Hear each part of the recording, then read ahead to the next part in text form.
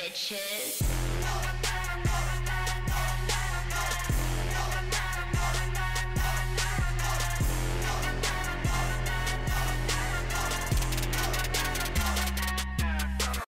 Hello everybody, this is Taye Nation and welcome back to another chest opening. I got this one while playing Soraka support and I got an S because I'm an amazing support, okay?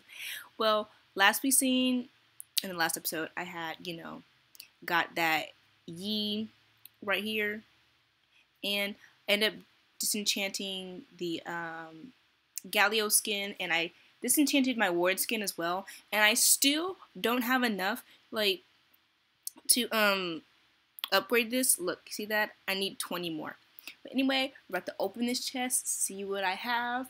Hopefully it's an if it's a better skin than Headhunter Yi then I'm gonna disenchant that and get whatever skin this is but let's see what we got time to open it up let's go Oh, it's enough blue orange essence. Super Galaxy Wolf icon. Oh my gosh. Let's go. Let's go.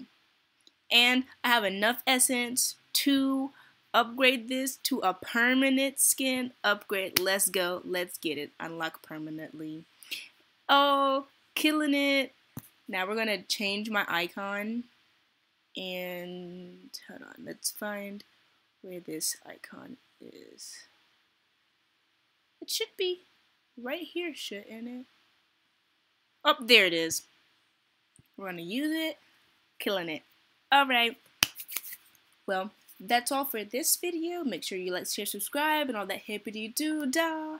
And I'll see you in the next video. Later, kiddos.